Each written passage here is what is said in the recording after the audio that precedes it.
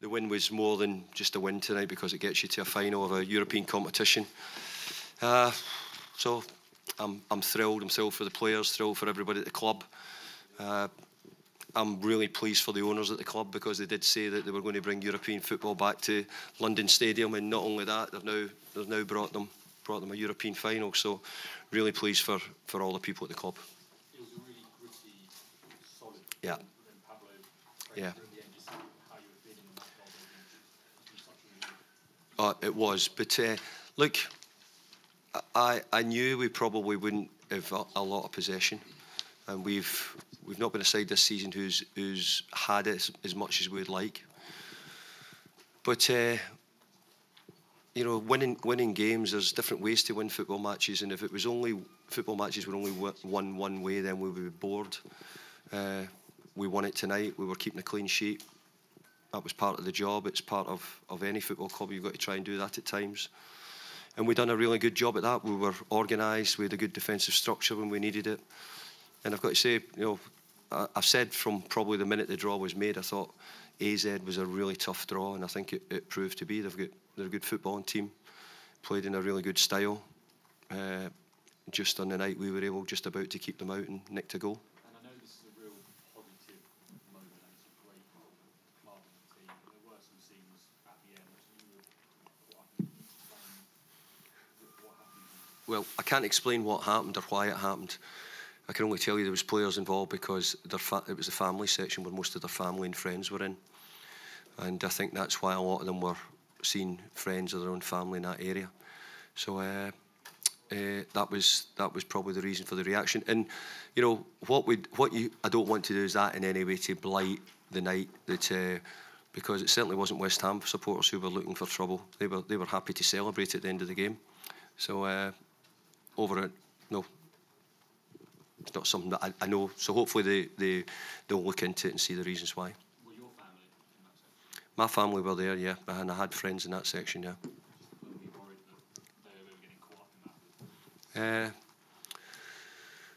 yeah, but I think that you're hoping that you know they'll they would sort of try and get themselves away from it. You'd hope, but if I'd if I'd seen it was uh, a couple of friends were in that area, and uh, I didn't I didn't recognise it because I was too happy to you know go onto the pitch and see the referee and see the other people before we left, and and the security actually wanted to take me inside, but I had to make sure that the players were not going to get involved in it as well.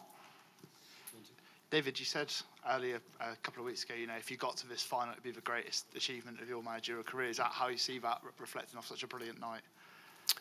Uh, yeah, probably. In many ways, I wouldn't. Uh, you know, I think in football you're always loath to put a title to things, but I think to get to a European final, and let's be fair, last year we got to a semi-final. We came really, really close to getting to a final. So maybe you shouldn't be too surprised. I think we've. I don't know if you get, if I quote the right number or not, but I think we've won 15 and drawn one in this run, something like that, 14 and one. Uh, we've got one more to go to see if we can win. You know, so we're we're thrilled. So you have to say that we've we've done a really good job in Europe this season, and really pleased. And we spoke on Sunday, and you said you felt you had a real dilemma, perhaps between Aguerd and Ogbonna. You started with Gerd, and you know it, it proved to pay off for you tonight. Yeah, I think that he's a boy who, who's, uh, I said many times, is getting used to the Premier League and uh, I think he's got lots and lots of attributes, really good attributes.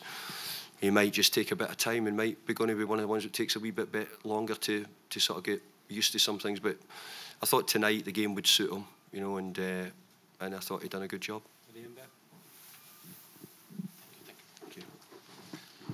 David, I have a question for you. How much did that semi-final last season affect you going into this season? And do you feel, um, yeah, things have come full circle now? Yeah, after winning a semi-final? Yeah, I did. We, I talked about it to the players tonight before we left.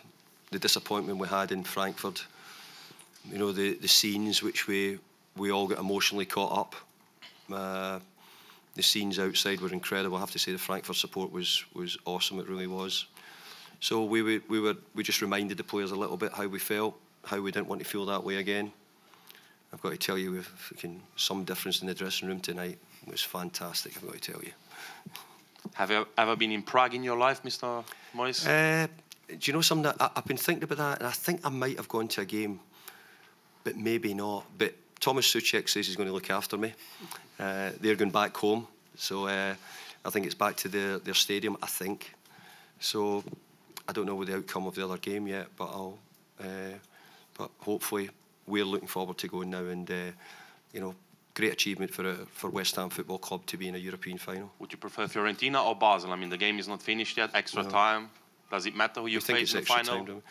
Uh, look, I think when you go to the final now, and you're, you're only going to you're only going to play good teams. I thought AZ were a very good team.